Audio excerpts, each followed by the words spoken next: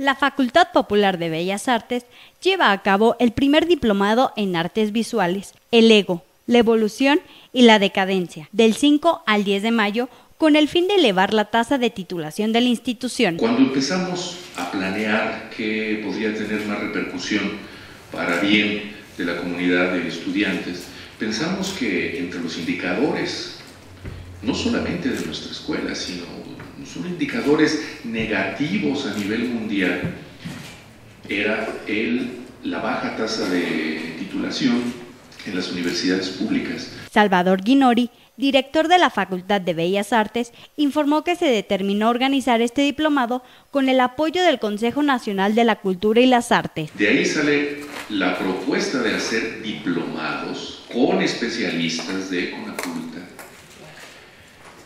los cuales tienen un valor curricular pues, muy importante, es de 150 horas en el caso, de, no, perdón, este es de 192 horas.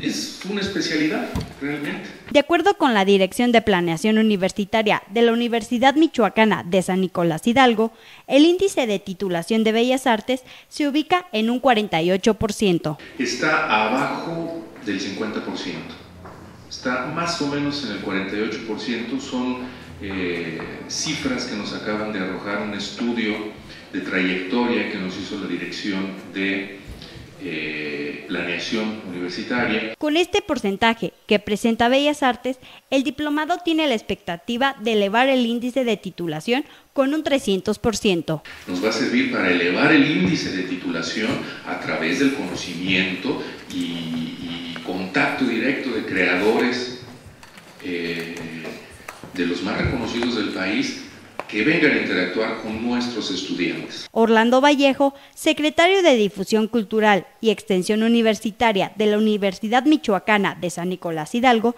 inauguró los trabajos del diplomado. Hemos iniciado los trabajos referentes al primer diplomado en artes visuales, el ego, la evolución y la decadencia, así que siendo las 10 horas de este día tan glorioso para México, 5 de mayo, declaramos formalmente iniciados los trabajos. El diplomado será en modalidad presencial, a través de cinco módulos que se llevará a cabo entre los meses de mayo y junio. Para Cuasar TV, Andrea Fernández.